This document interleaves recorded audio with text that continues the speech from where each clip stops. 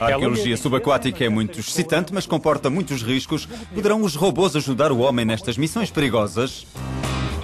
Esta antiga pedreira e prisão soviética em Ruma, na Estónia, foi abandonada e inundada nos anos 90. Alguns dos edifícios e das máquinas da época encontram-se submersas no lago.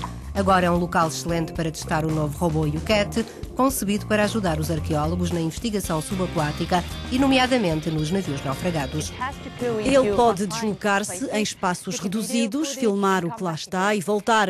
Há nestes sítios, por vezes, espaços muito pequenos e o robô pode andar à volta, manobrar em todas as direções e regressar. Desenvolvido no âmbito de um projeto europeu de investigação, o UCAT funciona sem controle remoto, seguindo o seu programa de forma autónoma. Os sensores evitam as colisões com todos os objetos que encontram pelo caminho. Os designers utilizaram uma abordagem biomimética e o robô imita os animais marinhos, como as tartarugas ou os peixes. Em vez de hélices, tem esta espécie de aletas, o que o torna bastante manobrável no interior de um navio naufragado. As aletas permitem também recolher sedimentos do interior do barco, porque se se entrar com uma hélice num barco afundado, levanta-se uma nuvem de lamas e não se consegue ver nada.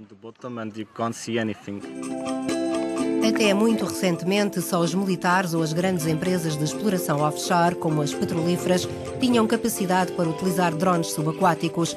Este equipamento é muito mais acessível para os cientistas e ajuda-os a estudar o património submerso sem grandes riscos. É melhor perder um robô dentro dos escombros de um navio do que pôr em risco um mergulhador. Em muitos casos, não podíamos penetrar no interior dos barcos porque era muito perigoso. É uma situação onde claramente precisávamos de máquinas para substituir o homem. Qual é então o maior desafio dos robôs subaquáticos? Os vídeos e os dados recolhidos pelos robôs podem ser combinados com mapas a três dimensões, uma ferramenta inestimável para descobrir e preservar os tesouros escondidos nos nossos mares, rios e lagos. Mas navegar e comunicar eficazmente pode ser complicado. Quando se fazem estudos arqueológicos, é muito importante saber em que sítio exatamente foram registadas as fotografias e os vídeos. Como é impossível comunicar via rádio debaixo de água, temos que utilizar comunicação acústica, que não é muito eficaz, que é muito lenta e provoca toda uma série de problemas técnicos para a comunicação e cooperação com os robôs. Por isso, estamos a trabalhar nessa área no âmbito deste projeto.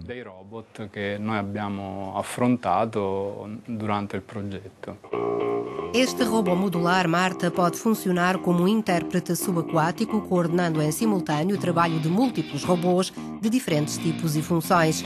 A sua forma e o sistema de propulsão fazem com que o Marta se mova mais depressa e cubra áreas mais vastas sozinho ou em grupo.